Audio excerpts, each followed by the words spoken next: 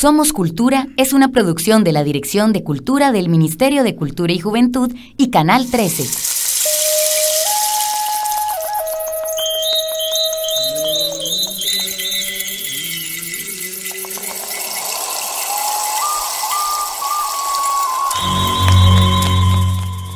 El programa Somos Cultura visita Buenos Aires, en la zona sur del país, considerado el cantón con más comunidades indígenas.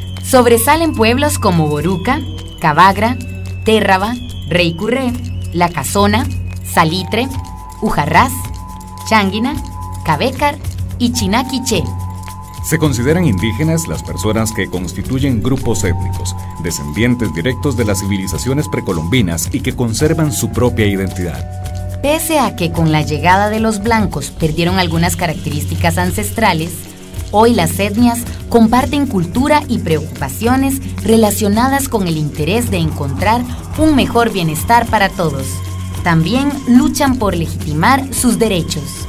Haremos un recorrido por los territorios indígenas para presentar algunos de sus rasgos culturales y sociales. Comenzamos con Térraba. El pueblo indígena de Térraba adquiere su nombre del río que nace en la cordillera de Talamanca. Es el río Grande de Térraba cuyas aguas hacen un recorrido de aproximadamente 176 kilómetros antes de desembocar en el mar Pacífico. Antiguamente, los indígenas borucas y térrabas lo utilizaban para la navegación en canoas. Su belleza natural es extraordinaria.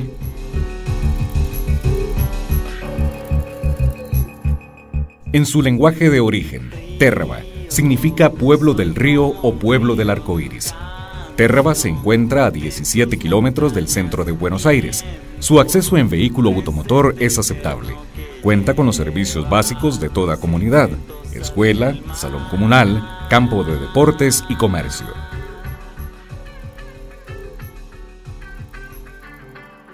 Aunque tiene influencia del blanco, mantiene algunos rasgos culturales. Uno de ellos es la medicina tradicional con plantas. Aide Rivera aprendió de su madre y esta de su abuela el conocimiento de curar algunas dolencias con plantas. Estas plantas para nosotros son muy útiles porque nosotros cuando fuimos niños, con, esto con esta era la medicina que nos curaba nuestros padres. Esta, esta forma de medicina la aprendimos, por ejemplo, de mi mamá, de mi abuela, eso viene, viene puede decir una cadena. Entonces nosotros de esa razón podemos distinguir para qué sirve cada cosa, porque con ella fue que tuvimos pues salud y hoy somos grandes. Esta es nuestra planta eh, tradicional, nuestra planta eh, que es de, propia, es manzanilla. Esta es para, para cuando tenemos fiebre, infecciones, pues esta nos, nos ayuda. Este es el jengibre. El jengibre para las infecciones de, de las glándulas, para la tos. Y esta, esta que tenemos aquí es el aguacate. Ella utiliza una variedad de hojas que machuca y machuca para extraer la esencia. Algunas hojas las combina y otras no. Sus pacientes las toman cual si fuera un té.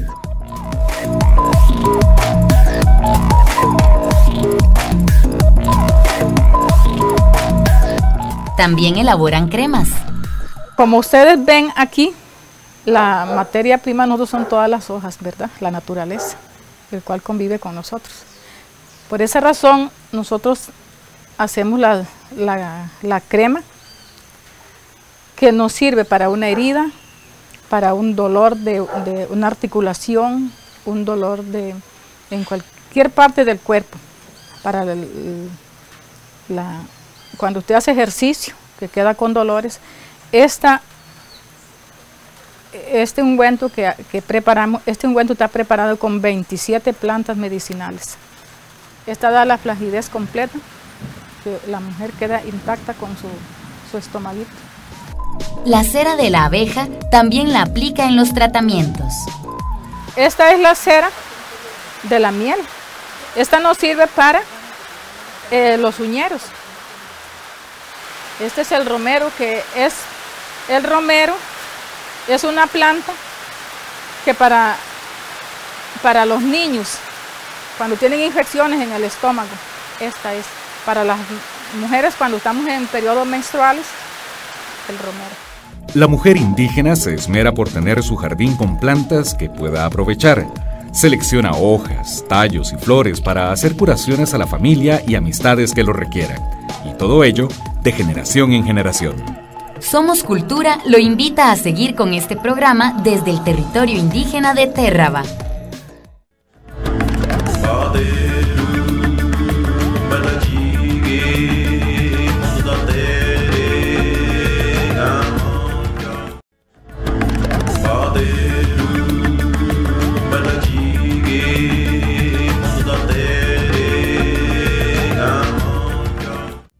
La gastronomía es otro elemento cultural que la mujer indígena de Terraba procura conservar con mucho celo. Les voy a hablar de la gastronomía indígena.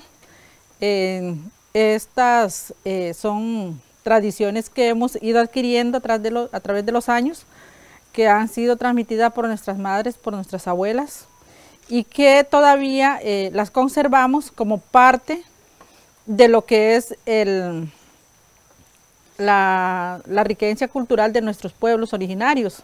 Hoy les voy a hablar acá de dos eh, platillos muy importantes que tienen que ver eh, en, las, en nuestros territorios, en nuestros pueblos. El bien sabe se hace con arroz. El arroz se muele. Eh, luego este, se le agrega leche, dulce y este, pero para que agarre este color, lo que hace uno es eh, quemar el dulce. Nosotras quemamos el dulce y le damos este color, como pueden ver, al, bien me sabe. Entonces este es un postre eh, que se ofrece acá y lo servimos eh, en las bateítas. Pueden ver, estas son bateítas de madera. También lo servimos en calabazas en, estos fueron los utensilios más ancestrales que se utilizaron en nuestros pueblos y que eh, pues hoy los usamos de una manera em, cultural para presentar estas comidas que son tradicionales. Y eh, esta es, se prepara, ponemos una cucharadita de arroz acá, ponemos eh, un pedazo, ponemos un pedazo de carne, y ponemos arroz nuevamente. Esto, esto se envuelve en esta hoja que es hoja de bijao negro.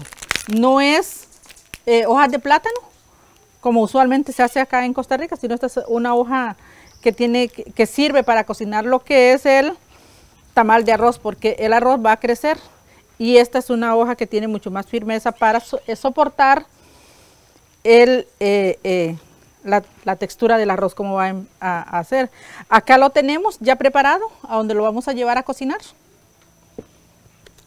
Eh, la duración de cocción de ellos es de 3 horas a 3 horas y media según la cantidad de tamales que pongamos en una olla, ¿verdad? A veces van ahí para 200, para 100, entonces normalmente va a ser como, va a oscilar entre 3 horas y 3 horas y media. Y aquí, como pueden ver, como puedes ver, ya aquí lo tenemos preparado, ¿verdad? Esta es el tamal de arroz. Aquí está. Listo para, para, que, para probarlo. El tamal de arroz está presente en la dieta de los térrabas, especialmente en los cumpleaños, matrimonios y novenarios. ¿Cómo lograr el rescate de estas y otras manifestaciones culturales? Para lograr esto es, una, es un trabajo permanente, es estar practicando continuamente lo que es eh, nuestros eh, platillos tradicionales, ¿verdad? Es hacerlo en las actividades, hacerlo en la cotidianidad del día con nuestras familias, enseñarles la importancia de los sabores, eh, la importancia también de mantener lo que es el producto de origen, para nosotros así lograr que la alimentación eh, o la gastronomía indígena pueda perseverar en el tiempo. La cultura térraba tiene la influencia de pueblos indígenas panameños. Este lazo hizo despertar el interés por investigar sobre su traje ancestral. Existían algunas, algunas cositas que nos indicaban que teníamos el vestido, pero no lo teníamos en realidad. Entonces fue cuando nació la idea de, de, de poder tener el vestido, pero cómo lo íbamos a tener, cuál era el vestido que íbamos a usar. Entonces, ahí nosotros, ahí, es donde entra también la parte del Ministerio de Cultura, cuando nos dan el aporte para nosotros profundizar en la investigación. Eh, nosotros para, para este, poder tener lo que hoy tenemos, tuvimos que viajar al, al Teribe, en Panamá, pedir permiso inclusive al, al rey nos reunimos con él, viajamos de aquí y entonces ellos nos dieron permiso para, para poder, porque sabiendo que éramos la misma cultura, que habíamos venido de, allá, que, nos había separado la, la conquista o no sé, algo nos había separado, pero que en realidad nuestro idioma, nuestras costumbres, todo era lo mismo. Y el vestido sí se había quedado. Entonces ahí nos dimos cuenta, bueno, y además eh, tener el permiso para poder eh, reproducir lo que era el traje tradicional, en el vestido, en las camisas de los hombres. Y ahí hemos ido trabajando hoy día que tenemos parte de, de este trabajo. Una característica llamativa del traje tradicional de la mujer indígena de Térraba es el uso de una tela estampada con flores pequeñas y con colores vivos muy alegres. Es un vestido compuesto por dos piezas, en agua y blusa, y ya esto lo hace diferente a otros.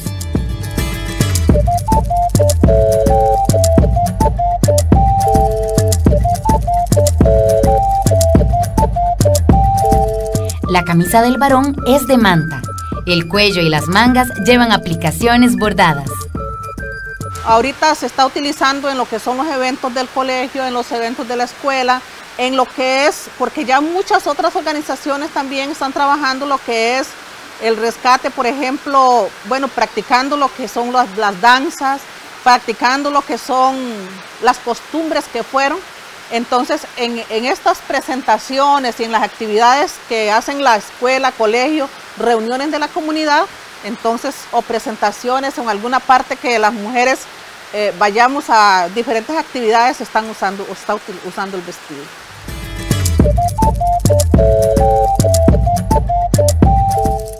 La comunidad indígena de Térraba encuentra en el turismo rural comunitario un modo de dar a conocer su cultura y cómo llevar sustento económico a la familia. Varios grupos se encargan de promocionar visitas guiadas. Bien, eh, buenos días en nuestro idioma brorán. Sitios importantes de atractivo turístico en nuestro territorio, pues tenemos diferentes opciones. Eh, visitar lugares sagrados como el sitio donde estamos ahorita, eh, la mano de tigre que es un petroglifo ancestral eh, que tiene una riqueza histórica de nuestros abuelos, ríos y pozas naturales, montaña, gastronomía de nuestras abuelas que ha sido heredada de generación en generación. Esos atractivos hacen importante que el visitante pueda conocer más a fondo lo que somos como cultura indígena. Tratamos de que las eh, personas que nos visitan compartan, aprendan eh, toda la vivencia cultural que, somos como, como cultura originaria.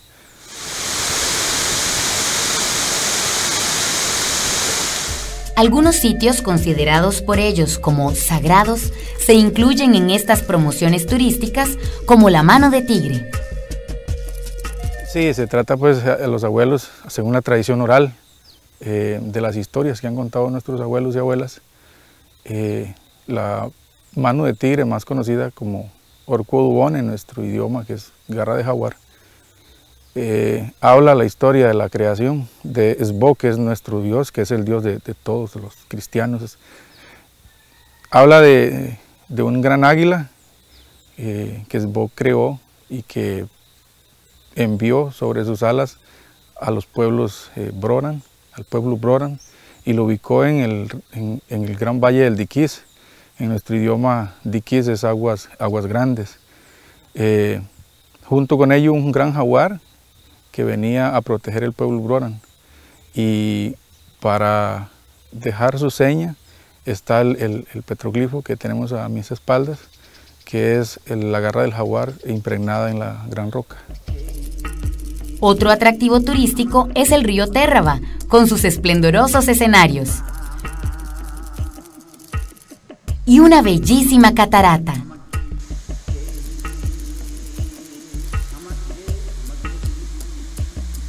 Claro, hay, hay eh, atractivos naturales como la catarata, que es un sitio muy agradable para visitar, que es un sitio eh, muy reconfortante para poder ir eh, en un día de, de compartimiento, ¿no? porque son, son caminatas, son tours eh, interpretados con guías locales que te van a contar toda la riqueza histórica, cultural que tienen estos sitios, como la catarata que mencionamos y como el Río Grande o Diques, que también cuenta toda una historia eh, de nuestros abuelos de hace muchísimos años. Todo ello es parte de la oferta turística de Térraba. En nuestro territorio, en nuestro pueblo, hay, hay por lo menos cuatro organizaciones que están trabajando el tema del turismo indígena. Somos Cultura continúa su ruta por territorios indígenas en Buenos Aires. Al regresar de la pausa, visitaremos Salitre y Ujarrás, dos reductos donde hombres y mujeres viven en medio de la naturaleza que aman, con ese amor venido de su dios Ibú.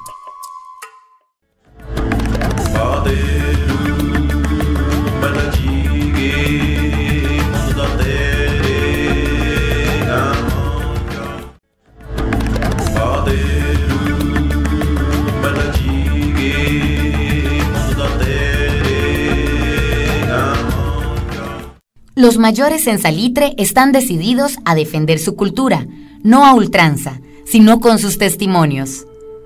Bribripa es una asociación indígena que vela por la cultura del pueblo Bribri en Salitre, a 13 kilómetros de Buenos Aires. Cuenta con un rancho para realizar actividades sociales y culturales. Y para quienes deseen convivir más tiempo con ellos, la asociación cuenta con cómodos e higiénicos albergues de montaña el rancho tiene una cocina donde las mujeres se esmeran por cocinar según sus costumbres, utilizando como ingredientes productos propios de la zona. Así, el visitante apreciará cómo los hacen y sobre todo disfrutará al lado de los miembros de la comunidad. Podrá presenciar cómo una mujer indígena muele el maíz para el consumo familiar, tal y como lo ha hecho tradicionalmente su pueblo. Sí, aquí estamos donde nosotros llamamos Yurar Eki significa piedra de moler maíz. Igual que el otro lado tenemos también el otro donde dice Yurarwu, quiere decir moler maíz.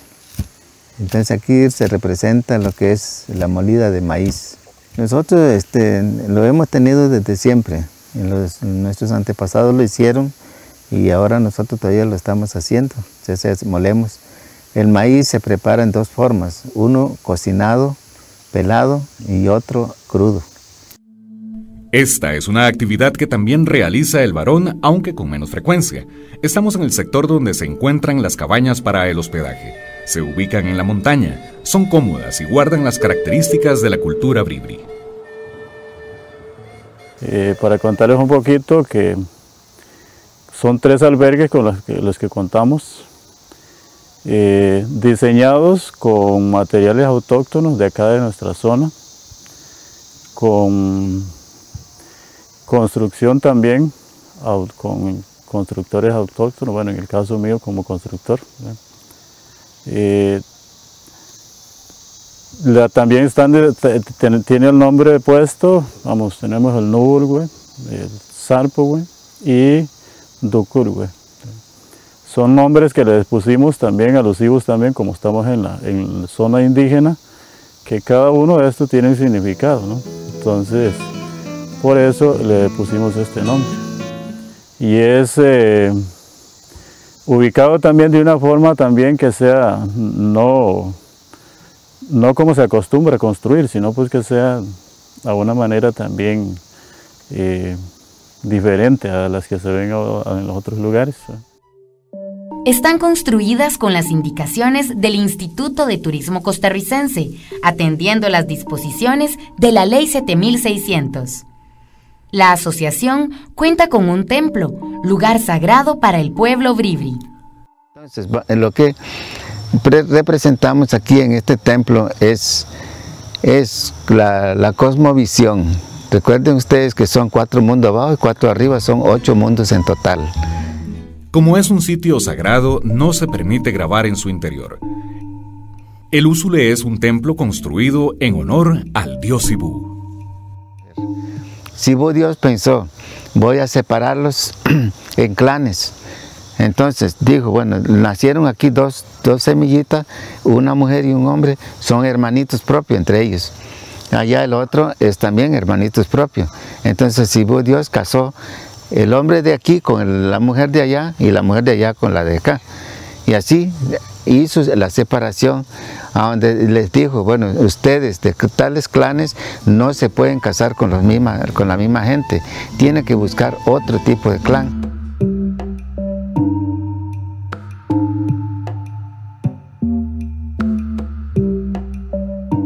Fabricar canastos y jabas es una actividad tradicional que se mantiene en Salitre. Esta java eh, en la cultura bribri se usó para, para muchas cosas, muchas actividades, como para jalar carga, para cosechar maíz, cosechar, este, traer bananos, yuca, todo lo que uno come, eso se jala en, en las habas. Por supuesto es interesante ver cómo se hace un canasto, de los que todavía el pueblo usa en su vida cotidiana. Esta es la parte de esa cultura que debemos aprender y apreciar, querer y defender. Otro pueblo indígena es Ujarrás, y aquí Siriaco Fernández mantiene la tradición de fabricar jabas. Mientras la termina, disfrutemos de este baile.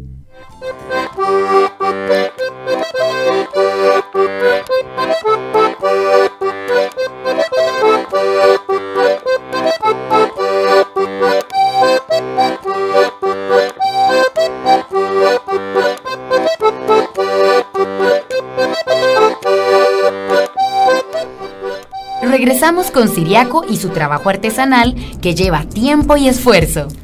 Las jabas grandes son muy útiles en las nuevas generaciones. Hay quienes todavía las usan para cargar alimentos.